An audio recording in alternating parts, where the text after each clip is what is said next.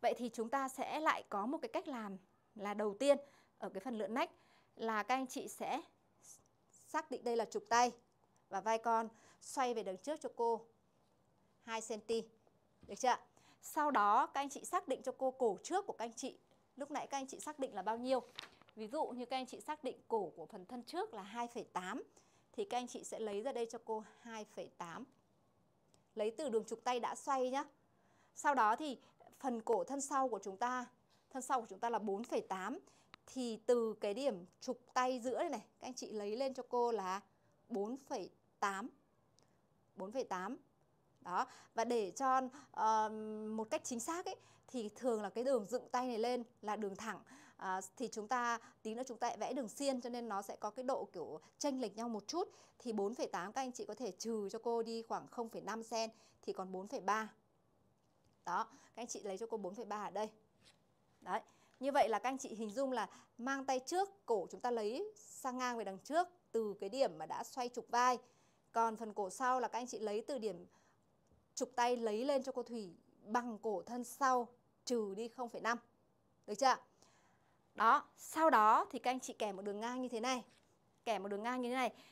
Thì à, nếu như trong trường hợp mà các anh chị không có hai cái số đo của cổ thân trước này và cổ thân à, sau ấy thì các anh chị ngầm hiểu là cái phần công thức cổ của thân trước thân sau ở đây được tính là bằng vòng cổ chia cho năm Ví dụ như là cổ của chúng ta là cổ à, ờ, uh, 38 mà chia cho 5 là được 7,6 đúng không ạ? Công thức nhá. Bây giờ công thức này.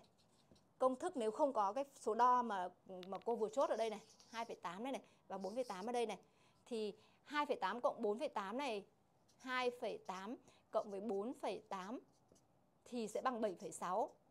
Thì chúng ta có thể sử dụng công thức ở đây sẽ là bằng vòng cổ 38 chia cho 5 thì cũng bằng 7,6. Đấy, nếu như các anh chị mà thích cắt theo kiểu công thức thì chúng ta sẽ áp dụng là như thế này. Nhưng mà cái như thế này thì chúng ta sẽ phải cố định tất cả các phần công thức của cả thân áo, thân trước, thân sau và tay. Như thế thì chúng ta sẽ bị bó khung trong một cái khuôn khổ là áo dài truyền thống. Còn nếu như chúng ta cắt theo kiểu mà cô đã từng hướng dẫn là chúng ta phải đa năng để chúng ta có thể linh động được thì các anh chị sẽ sử dụng một trong những cái cách mà cô đã từng hướng dẫn các anh chị trong suốt các phần bài giảng từ đầu đến bây giờ cũng như là các bài giảng mà cô đã từng hướng dẫn các anh chị trong suốt nhiều năm qua. Đó. Thế thì hôm nay thì như cô vừa nói là chúng ta cắt độc lập mà không kiếm miếng ghép này ấy, thì chúng ta xoay cái đường trục tay về đằng trước này là 2 cm rồi. Sau đó xác định sang ngang từ điểm trục này ra đây là 2,8 và từ điểm uh, trục giữa này lấy lên là bằng cổ sau trừ 0,5 là 4,3. Sau đó thì chúng ta sẽ nối từ cổ trước này lên cổ sau này chính là bằng vòng cổ chia cho 5 là bằng 7,6 thì đây là đường chéo.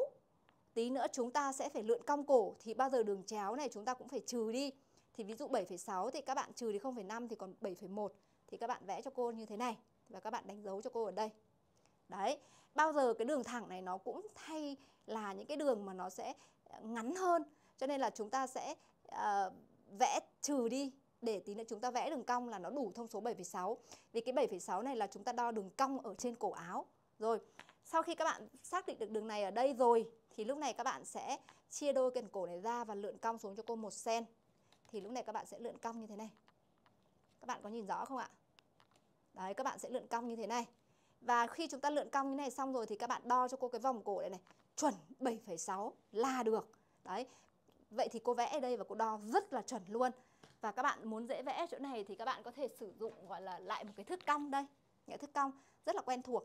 Và các bạn sẽ đặt vào đây độ cong 1cm Và các bạn sẽ tô lại cho cô phần cổ Như vậy là các bạn đã vẽ được cái phần cổ độc lập này Bằng cách là sử dụng 3 trong 1 cho nên là các anh chị nhìn thấy ai vẽ áo dài kiểu gì các anh chị cũng hiểu chính vì thế mà ai vẽ như thế nào cô thủy nhìn là cô thủy biết là đang vẽ phương pháp gì đó, như vậy là chúng ta đã xong phần cổ này nhá. Xong phần cổ này rồi. À, và cô cũng đã ghi rất là kỹ ở phần cổ này rồi. Bây giờ chúng ta sẽ đến phần bước tiếp theo